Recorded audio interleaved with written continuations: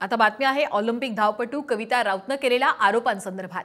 आदिवासी असतानाच राज्य सरकारकडून दहा वर्षांपासून माझ्यावर अन्याय होतोय असे गंभीर आरोप करत सावरपाडा एक्सप्रेस म्हणून प्रसिद्ध असलेला अर्जुन पुरस्कार प्राप्त ऑलिम्पिक धावपटू कविता राऊतनं राज्य सरकारवर नाराजी व्यक्त केलेली आहे. आदिवासी असल्यामुळे आणि पाठीशी कुणीही गॉडफादर नसल्यामुळे दहा वर्षांपासून राज्य सरकारी नोकरीमध्ये डावललं जात असल्याचा आरोप सुद्धा कविता राऊतनं केलेला आहे.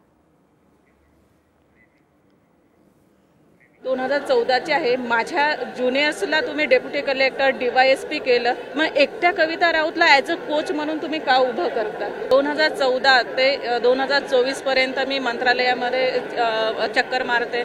तर मला पण प्रश्न हाच आहे की का डावललं जातं? आत्ता मला त्याची खात्री झाली की मी एक आदिवासी आहे. माझ्या पाठीमागे गॉडफादर नाही आहे म्हणून मला डावललं गेलं.